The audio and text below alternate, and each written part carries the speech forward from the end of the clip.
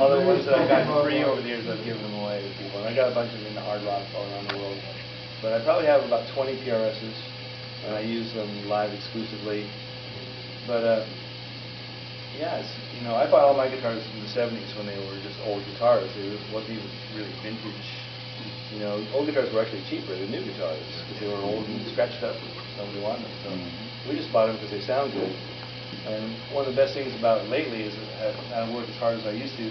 I've been able to go back and pull out these guitars and spend two days with it and record with it. And, you know, when you're traveling so much, you grab a guitar and it just goes in case somewhere you don't see it for a year or something like that. But lately I've been going through them and playing some of my old guitars and stuff. It's a, it's great. I, you know, I love guitars obviously, and so it's really nice having a few different guitars.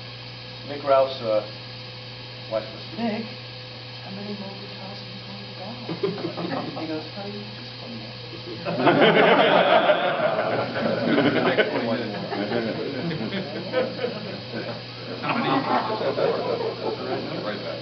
So what's the funniest thing that ever happened to you while you were on stage on tour? Well, one time we were playing in Vegas. It was my birthday, and Aunt Nancy hired two giant six-foot showgirls with the big headdresses and the whole outfits to come out right in the middle of my heart and soul of the night. To come out, and was one on each side of me, and just started rubbing up. Trying to play, you know. That's, that's, was a good one. Uh, one time in Kyoto, Japan, it rained uh, seven inches in 20 minutes, and the stage collapsed on us. It almost killed us. In fact, my parents in LA heard on the radio that we were all killed. And it wasn't until the next day when I was able to get older. Yeah, I'm alive. Our equipment's all ruined, but we're fine. But yeah, it rained so hard, it started filling up the canvas tarp over the stage. Started filling with water. They sent a guy up there with a knife, and he was cutting holes in the canvas, and the water's coming down. Finally, the whole truss broke and came down, and the back part of it went right to the stage, put a big divot in the stage, didn't hit any of us. And then the mid, middle truss came down and hit the timpani drum. Michael DeRosier had a big kettle drum. Those had the big copper braces on the side. Right. Copper about that thick, just snapped it like a twig. Drove the casters on the bottom of the drum right through the bottom of the stage, but it, but it held it up. It would have killed the drummer otherwise. The timpani drum saved him. So that's a plant potter, potted plant for the his house. that, that drum earned its money. Wow. Uh, what else happened? Uh, split my pants once real good. didn't know it. And uh, didn't wear underwear in the 70s.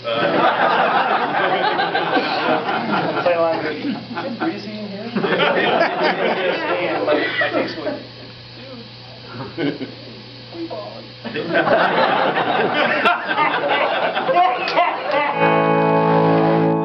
That's rock and roll. I got food poisoning, I got sick once. I had to run off during the drum solo at the end of the night and throw up and come back to the last chord. and I went home and got sick for the whole night. And all kinds of funny things happen to you. Weird plane rides. I don't know if you guys have ever seen the movie uh, Almost Famous. Yeah. Yeah. There's a scene in the airplane with those guys. And They land and they think they're going down and they don't. That's from a real flight that Cameron Crowe, Nancy's husband, was on with us on a flight that was like that. And we all thought, this, this is it, you know. So nobody yelled at me, okay? but the guitar player in the movie says exactly what I said to the pilot, because we didn't have our normal pilot. For some reason, our regular guy, who was Balls of Steel, he wasn't with us that day. Some other guy was flying us, and I go up to the front of the plane and it started really rocking. And I looked on the radar, it was just red. And I said to him, we shouldn't be here. And in the movie, that's what exactly what the guy said. yeah, it's pretty funny. Anything else? That violin guitar, do you notice any difference that that neck wood makes in the way the thing uh, frets up the neck and sounds? Well, mine, mine doesn't have a Pernambuco neck, Oh, but uh, mine has a rosewood neck.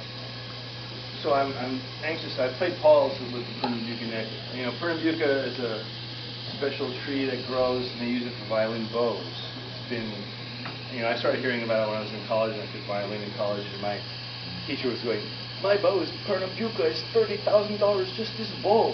You know? okay, you know. I didn't really get it, but apparently the tree grows in the exact shape of a bow, and they just, you know, it just comes out perfect. But uh, Paul, Paul tests all this stuff scientifically. He says it's the most resonant wood there is, so it can't hurt. You know, that feels good. I like the raw, like this one's got the raw wood neck. I like that. Clean feeling. When your, your oils get in there and sort of close the pores. I like the calculus that adds to it a little bit. What else? What's your favorite PRS pickup?